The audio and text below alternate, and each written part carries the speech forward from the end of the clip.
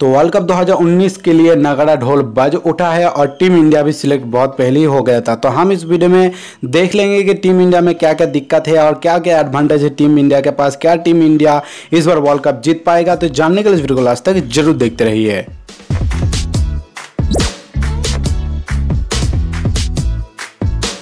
तो चलिए सबसे पहले एक बार नज़र मिला लेते हैं। वर्ल्ड कप 2019 के लिए बीसीसीआई द्वारा सिलेक्ट किया गया 15 man squad for Indian team. तो दोस्तों, पहला है रोहित शर्मा, उसके बाद है शिखर धवन, तीन नंबर पर है विराट कोहली, चार नंबर पर के राहुल, उसके बाद है विजय शंकर विजय शंकर को ले लिया गया है अम्बटी रायडू के जगह। इसके बारे में हम चर्चा करेंगे, उसके बाद M S Dhoni, Kedar Yadav Dinesh Karthik as a backup wicket के बाद बैट्समैन उसके बाद है हार्दिक पांड्या, रविंद्र जडेजा, युजविंदर चहल, कुलदीप यादव, भुवनेश्वर कुमार, जसप्रीत बुमराह और मोहम्मद सामी। तो इस पंद्रह मैन स्क्वाड को देखते सबसे पहले नाम आ रहा है के राहुल का हाँ दोस्तों, के राहुल का यहाँ पर चयन हो चुका है एज ए बैकअप ओपनर यहाँ पर अगर कोई भी ओपनर रोहित शर्मा, शिखर धवन, दोनों में से कोई अगर चोटिल हो जाता है, अगर ओपनिंग में कुछ भी गड़बड़ होता है तो यहाँ पर के राहुल मदद कर सकता है, जो एक अच्छा डिसीज़न है। इनके अलावा और कोई मुझे नज़र नहीं आ रहा है एज ए बैकअप ओपनर तो ठीक है, के राहुल टीम में मौजूद है। उसके बाद दूसरा जो पॉइंट है वो दोस्तों अम्बटी रायडू की जगह विजय शंकर को सिलेक्ट करना। तो यहाँ पर ना भी लगा मुझे, अम्बटी रायडू के ऊपर ना भी क्या गया है बीसीसीआई द्वारा।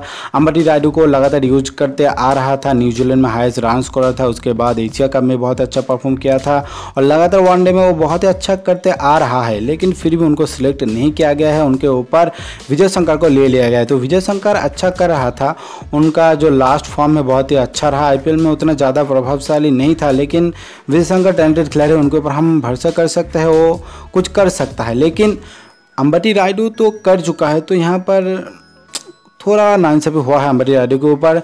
लेकिन विजय शंकर अच्छा खिलाड़ी हम उम्मीद करते हैं को अच्छा करेगा। तो चलिए नेक्स्ट देखते हैं इसके बारे में क्या होता है और किस तरह से विजय शंकर परफॉर्म करते हैं। आप मुझे अपना राय ज़रूर बताइए कमेंट में। उसके बाद अगर तीन नंबर पॉइंट की बात करें तो नंबर चार पर कौन खेलेगा? तो दोस्तों, नंबर चार पर यहाँ पर देखा जाए तो विजय शंकर को अभी जगह मिला है तो विजय शंकर शायद नंबर चार पर आ सकता है, या अगर विजय शंकर का कुछ फॉर्म गड़बड़ होता है तो के राहुल को भी लिया जा सकता है चार नंबर पर। तो एक बड़ा सवाल था कि यहाँ पर चार नंबर जो बहुत दिनों से दिक्कत हो रहा है टीम इंडिया में तो शायद यहाँ पर के राहुल या विजय शंकर चार नंबर पर खेल सकता है इस वर्ल्ड कप में। और इसके बाद नेक्स्ट अगर चार नंबर पॉइंट की बात करें तो दोस्तों, चार नंबर पॉइंट है कि backup fast bowler team India के पास नहीं है। उन्होंने तीन फास्ट बॉलर और तीन स्पिनर को चुना है इंग्लैंड में खेलने के लिए, जो कि मुझे लगता है थोड़ा बहुत गड़बड़ हो चुका है टीम इंडिया में, क्योंकि चौथा फास्ट बॉलर ज़रूरत है।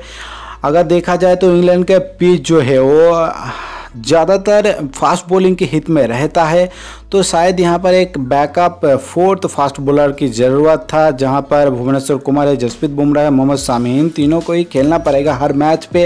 अगर इनमें से कोई चोटिल हो जाता है तो दो दो स्पिनर खिलाना पड़ेगा प्रॉपर स्पिनर दो दो रहेगा। तो शायद दो स्पिनर यहाँ पर नहीं खिला सकते आप इंग्लैंड के पिच पे। आपको ज़्यादा से ज़्यादा एक स्पिनर और चार फास्ट बॉलिंग का ऑप्शन रखना ही चाहिए। अपने प्लेइंग एलेवन में हार्दिक पांड्या एज रह सकता है फास्ट बॉलर, लेकिन फिर भी एक बैकअप आपको ले जाना चाहिए था, लेकिन नहीं ले गया। कुछ अच्छा होगा टीम इंडिया के लिए। शायद कुछ मिला है, बीसीसीआई को कुछ हिंट मिला है वहाँ पर। शायद इसीलिए चेंज किया गया है इस तरह का स्क्वाड। तो देखते हैं नेक्स्ट क्या होता है और नेक्स्ट अगर हम बात करें पाँच नंबर पॉइंट के बारे में तो यहाँ पर पंत की जगह कार्तिक को लिया गया है। तो दोस्तों, यहाँ पर नाइन से भी पंत के ऊपर भी हुआ है। पंत को मौका दिया जा रहा था, उनको खिलाया जा रहा था, लेकिन फिर लास्ट में जाकर उनको सिलेक्ट नहीं किया गया। तो मेरा बात एक ही है कि अगर पंत को आपको सिलेक्ट नहीं करना था तो आपको कार्तिक को ज़्यादा मौका देना चाहिए था। आपको आपको अगर लगता है कि कार्तिक बेटर विकेट कीपर है पंत के जगह में तो अगर कार्तिक वनडे में खेलता टेस्ट में खेलता तो उनको और भी ज़्यादा एक्सपीरियंस हो जाता, और भी ज़्यादा अच्छा फॉर्म में रहता कार्तिक लेकिन आपने उनको नहीं खिलाया, उनके जगह पंत को टेस्ट में रखा। उसके बाद ओडीआई के कुछ मैचों में से भी आप बाहर बाहर कर दिया था कार्तिक को। तो यहाँ पर मुझे लगता है कि अच्छा डिसीज़न है, लेकिन पंत को आपने मौका दिया, कार्तिक को नहीं आजमाया। कार्तिक को आजमाना चाहिए था, आप कार्तिक को टेस्ट में खिलाइए। अगर कार्तिक के पास उतना ज़्यादा एबिलिटी है विकेट कीपर के लिए तो आप पंत की जगह कार्तिक को मौका दीजिए, अभी पंत को रहने दीजिए। टी ट्वेंटी फॉर्मेट में ही। तो यहाँ पर कुछ एक दिक्कत की बात है। लेकिन ओवरऑल अगर देखा जाए टीम बहुत ही अच्छा सिलेक्ट किया है और हम लोगों का जो उम्मीद है, इस टीम के ऊपर ही रहेगा। और हम देखना चाहते हैं, जैसा कि कपिल देव ने कप उठाया था, उसके बाद महेंद्र सनी महेंद्र सिंह धोनी ने कप उठाया था और अब विराट कोहली के हाथ में हम वर्ल्ड कप देखना चाहते हैं। क्या होगा 2019 में ऐसा? आपको क्या लगता है? मुझे कमेंट में ज़रूर बताएँ और मैं पूरी तरह से इस टीम के ऊपर भरोसा रखता हूँ। मैं पूरी कॉन्फिडेंस हो कि इस टीम के ऊपर कुछ दमखम तो है और ज़रूर कुछ करके दिखाएगा। तो दोस्तों, बस इतना ही कुछ बातचीत था इस टीम के बारे में और कुछ इंपॉर्टेंट चीज़ नहीं था जो कि पॉइंट मैंने आपको बताया। पाँच पॉइंट बहुत ही वाइटल था जो कि बताना ज़रूरी था और मैं आपको बताया। और नेक्स्ट हम वार्म अप शेड्यूल के बारे में बात करेंगे जो कि नेक्स्ट वीडियो होगा। उसके बाद आई और इंडियन फुटबॉल टीम का भी मैच अभी शुरू होने वाला है। इसके बारे में भी आपको वीडियो मिल जाएगा। कुछ दिन वेट कीजिए, लगातार आपको आप वीडियो मिलने वाला है। तो फ़िलहाल के लिए इस वीडियो में इतना ही। आपको बहुत बहुत शुक्रिया टाइम निकल के इस वीडियो को देखने के लिए। अगर आपको वीडियो अच्छा लगे तो लाइक ज़रूर कर दीजिए। अपने दोस्तों से वीडियो को ज़्यादा से ज़्यादा शेयर कर दीजिए। और साथ साथ सब्सक्राइब करने के बाद बेल आइकन को भी प्रेस कर दीजिए ताकि आपको नोटिफिकेशन तुरंत मिल जाए जब हम वीडियो अपलोड करें।